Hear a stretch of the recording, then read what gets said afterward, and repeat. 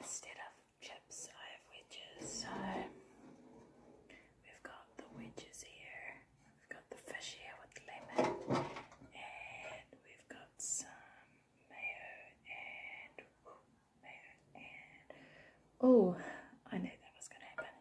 Some mayo